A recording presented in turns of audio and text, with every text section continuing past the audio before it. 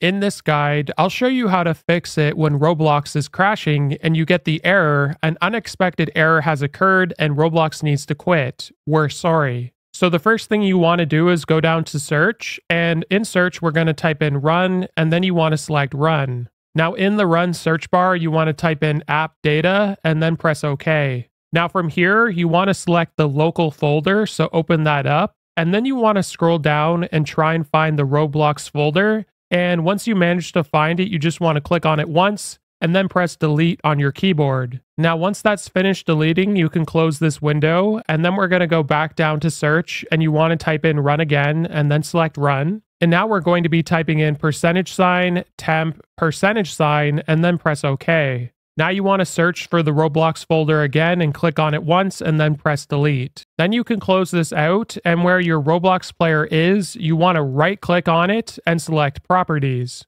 Now at the top, you want to select compatibility and you want to run this program as an administrator and apply these settings and press OK. Now, if you're still experiencing this error, what I recommend you do is go down to the search bar and type in add and then select add or remove programs. Then in the search bar at the top, type in Roblox and then you want to uninstall the Roblox player. Then go to Google and type in Roblox download and select download Roblox. And you just want to go ahead and re download the game and reinstall it. You should be able to select it in the top right corner. If this video was helpful, like and subscribe, and we'll see you in the next one.